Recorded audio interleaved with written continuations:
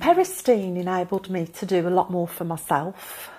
It, it, it made me feel a lot more positive. My name's Kerry Lloyd. Um, I'm 42 years of age. I have two children, two girls, and I've been with my partner now for 25 years.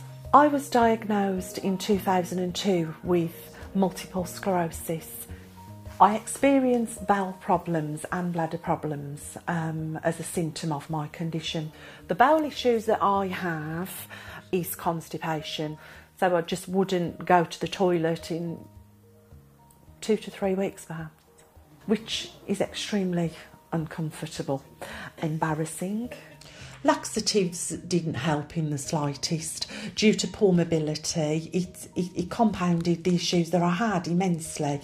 Um, couldn't get to the toilet in time, felt quite housebound, felt very restricted.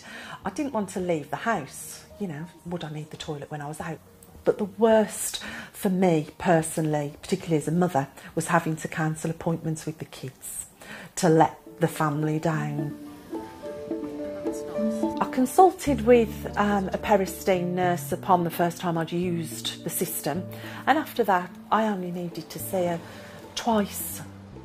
The first time I used Peristeen um, was quite strange, actually, thinking, wow, I just felt so much better.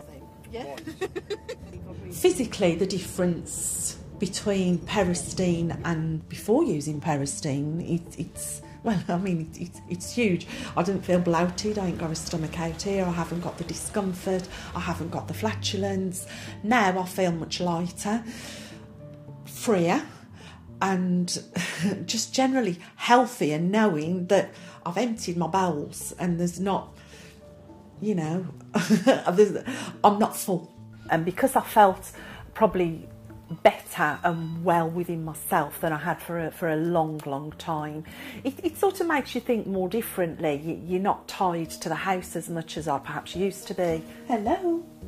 Oh, hello. I actually volunteer for the MS Society and help and support people locally affected by MS.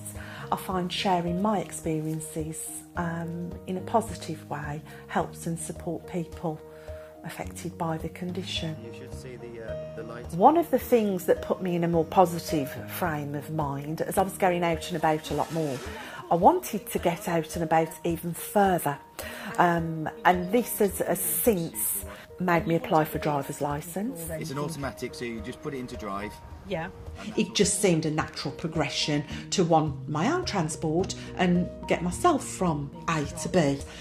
I can put the kids in the back of the car and say, come on, let's go shopping. We can go out as, as the girls and mom can drive. Oh, brilliant. There were many things that I couldn't do. Now I do them. Oh, that's brilliant.